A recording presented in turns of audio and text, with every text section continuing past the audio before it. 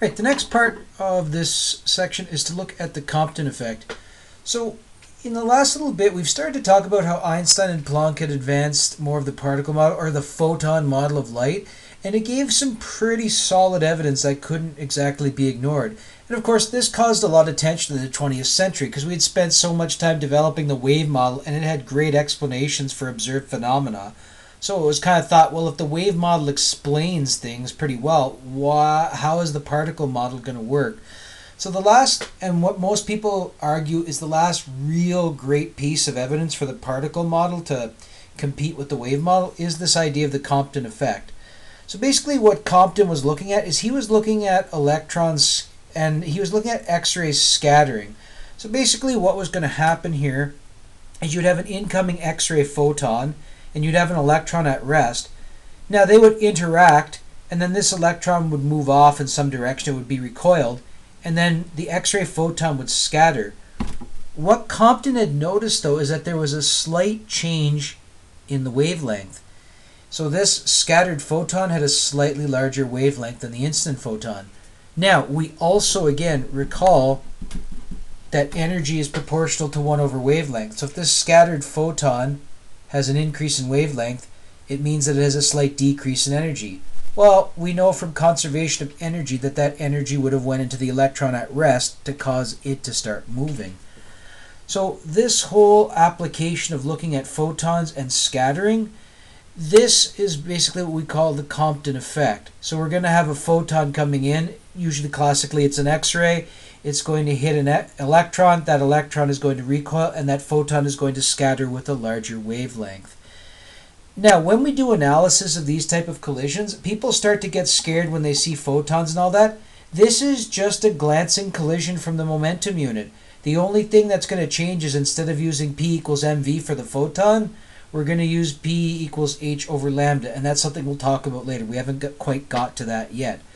But the big result from this is it showed that photons themselves have momentum. Because when that photon interacts with this electron and causes it to recoil and then the photon scatters, like I said, we're looking at this from a perspective of momentum. So this is showing that these photons have momentum, and momentum is something we associate with particles. So Compton effect was kind of the last real nice big piece of evidence to support that light can also behave like a particle. Now, with Compton effect, it can be analyzed using conservation of energy, conservation of momentum, and a lot of fancy mathematics. We are not responsible for doing the fancy mathematics in high school. It's a little bit beyond our scale. But that change in wavelength observed in Compton scattering, that change in wavelength is going to be the Planck's constant divided by the mass of the electron times the speed of light. And then all that is going to be 1 minus cosine theta. So change in wavelength, Planck's constant. The Planck's constant, though, this one's a little bit special. It has to be the one that's in joule seconds. We cannot use the one in electron volts seconds. It's not going to work. The mass is always going to be the mass of your electron here. And the other thing is the angle. The angle is the scattering angle of the photon. It's not actually of the electron. That's a whole separate business altogether.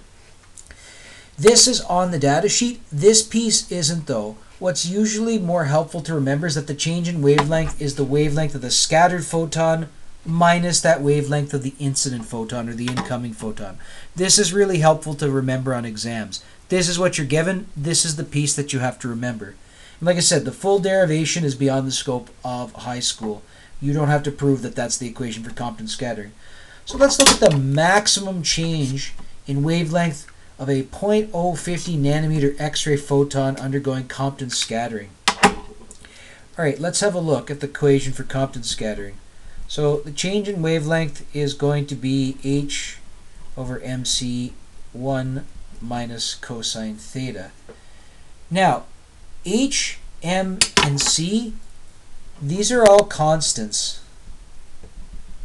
None of these are going to change, so we don't have any flexibility to change that all we can really do is we can change this 1 minus cosine. So we want to maximize 1 minus cosine theta. Cosine theta can take values between negative 1 and positive 1. Well, if cosine theta is equal to positive 1, we're going to get 1 minus 1, that's going to be equal to 0. We're not going to have a change in wavelength. That's not going to be interesting. But if we let cos theta equal negative 1, that is going to do this 1 minus minus 1, and that's going to give us a 2 here. By letting cosine theta equals negative 1, we are going to maximize this function. Cosine theta is going to equal negative 1 at 180 degrees. So that is what is going on. That is when we're going to have the maximum change in wavelength. To show you what's going on here, here is our electron. So what's happening in this case is we have an incoming photon that's coming in. And then in order to achieve maximum change in wavelength, this it's going to be what we call backscattered. The scattering angle is 180 degrees. Basically what's going to happen is it's going to go back from the direction which it came. So this is a case of backscattering. This will give us the maximum change in wavelength. So let's calculate that maximum change. So the maximum change in wavelength, we know Planck's constant. And again, we got to use that one in joule seconds. We have the mass of the electron here. And then we have that speed of light. And then, yeah, we want that 1 minus cos 180. Because we want this to be 1 minus minus 1. So what are we going to get for our maximum change in wavelength in this scenario? And don't expect a large number. It is going to be quite small. Alright, just having some problems typing things into the calculator here. Okay, and then we got that. So we're going to get to the maximum change in wavelength. Now, none of these are using this 0.050. So for SIGDIGs, there's not really anything they're all constant, so none of these are helping me for sig digs, so I'll just give it to 3 sig digs. So we're going to get about 4.85 times 10 to the minus 12 meters. So in a Compton scattering, the biggest change in wavelength we can have is 4.85 times 10 to the minus 12 meters. We cannot have anything larger than that. That's the most the wavelength's going to change. So 4.85 picometers. Let's have a look at some other examples with Compton scattering. So we have a stationary electron. It's struck by an X-ray photon.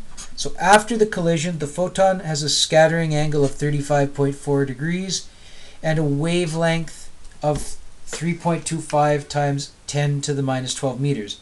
We want to find the initial wavelength of the photon. So before we get to that, let's at least find the change in wavelength. So we know the change of wavelength in a Compton scattering is h over mc, and then 1 minus cosine of the scattering angle of the photon.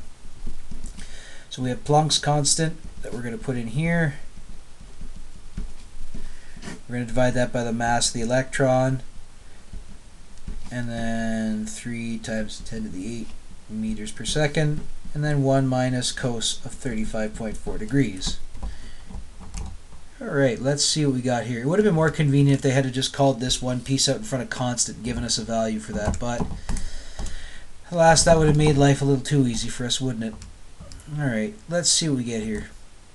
So we're going to get about 4.485 times 10 to the minus 13 meters. So that is the total change in wavelength between the scattered and the initial wavelengths of the two photon. Or sorry, that is the change in wavelengths between when the photon is scattered versus when the photon is incoming. So we know that the change in wavelength is the scattered wavelength minus the initial. We are interested in this initial wavelength. So the initial wavelength is actually going to be the scattered wavelength minus that change in wavelength that we've determined. So we have our scattered wavelength here. So I'm going to just give myself some space here. So we know our scattered wavelength is 3.25. Sorry about that. 3.25 times 10 minus 12 meters. Then we're going to subtract off that change of wavelength that we found for the Compton scattering. So we do minus 12 minus that. So we're going to get about 2.80 times 10 to the minus 12 meters. So what's happening in this scenario is we have an initial photon coming in of 2.80 picometers it's going to scatter off an electron, and then that photon is going to scatter at an angle of 35.4 degrees. After it scatters, it's going to have a slight increase in wavelength, and it's going to increase to 3.25 times 10 to the minus 12 meters. So the last thing that we can do to kind of trick and trap people. And this is a real evil, and this is a really dirty trap. So we have an X-ray. It has a frequency of 4.50 times 10 to the 20 hertz, and it's going to undergo Compton scattering, and the frequency of the scattered X-ray is going to be 4.20 times 10 to the 20 hertz. We want to find the scattering angle of the X-ray. So we're still doing Compton scattering. So I have my delta lambda h over mc 1 minus cos theta. Now, at the end of the day, I'd like to get the angle. Now, the angle is, this cos theta is attached to this 1, and this is all multiplying this h over mc. First of all, let's multiply both sides by mc. That way we get rid of this mc stuff here. So I'm going to get mc times the change in wavelength is equal to h 1 minus cos theta. So we have to deal with this multiplication here. We're going to divide both sides by h. So now I'm going to have this mc delta lambda over h. This is equal to 1 minus cos theta. All right, we're making some progress. Let's isolate for cos theta. So I'm going to bring the cos theta to the other side, and I'm going to dump this to the other side.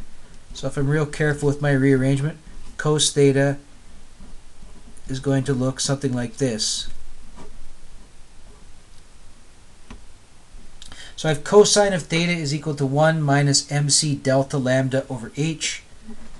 So then theta is going to be the inverse cosine of 1 minus mc delta lambda over h. This is pretty bad looking, but it is going to give us the answer. Now, at the end of the day, we know mc and h. Those are all constants. We don't know the change in wavelength. And the problem is we're given frequency. So we also know, and we're going to put this in a separate color, so we know from electromagnetic radiation, C is equal to F lambda. That is something we've known and loved for a long time. So we know that the wavelength is just going to be C over the frequency.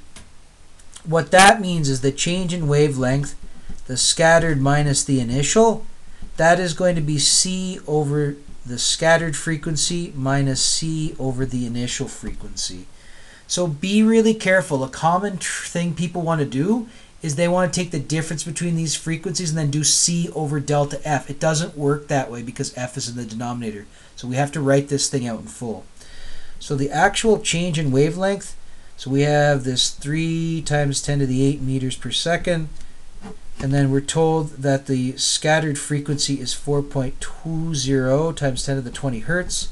And then we're going to subtract off that 3 times 10 to the 8 meters per second. And then we're going to divide that by 4.50 times 10 to the 20 hertz. So a lot of big numbers, a lot of calculations in here. So this is a little bit harder just because of the way we put that frequency. And like, yeah, as I said, you got to be really careful with how you change change in free change in wavelength when you're involving two frequencies. So like be really careful with that. By 4.50 E20. So we're going to get something along the lines of about, oh, let's see here, 4.7619 times 10 to the minus 14 meters. So based on the change in frequency I have, this is going to correspond to this particular change in wavelength. Now that we know the change in wavelength, we can now put in our equation for Compton scattering. So the angle is going to be the inverse cosine, and then yeah, we have a lot to put in here. So we got this mass of the electron, we have the speed of light. Oh man, I'm running out of room here. So we got this 4.7619 times 10 to the minus 14 meters. Then we're going to divide all that by Planck's constant, which is 6.63 times 10 to the minus 34 joule seconds. Right, a lot there. Now we got to be really careful when we're doing all these calculations.